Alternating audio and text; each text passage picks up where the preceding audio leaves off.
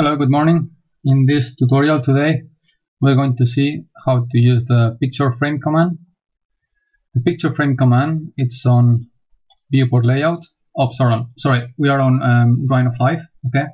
So we open the viewport layout and tab, here we see the picture frame command. Picture frame, and now we just have to select a JPEG image, open, and here you see first corner of picture frame is going to be the starting point of the picture frame. We need to place it as if it was a rectangle or a surface.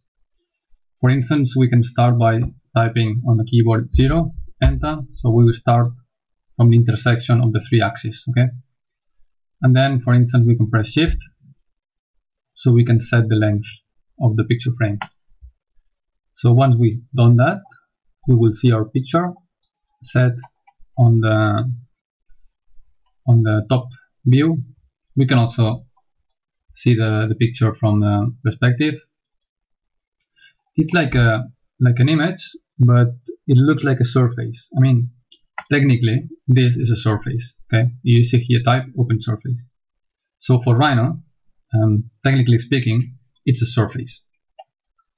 Also if you have a look at the text here you will see that it has transparency. You can see the back of the objects. Okay. So as it's a surface, we can trim it, for instance. So we can draw a rectangle, well, several ones, rectangle or circles, for instance, or ellipses, any kind of curve. Let's make it smaller,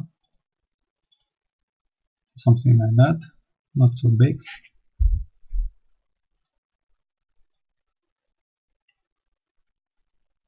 Okay. So now we can for instance use trim sorry split. And we can split this surface using these three objects. Enter. And now we can get rid of this. So we will have three small surfaces. So yeah that's where it is. It's one surface another surface and another surface. Then we can just select one of them. And just rotate it. Also on the other side. And just align them if we want. Right.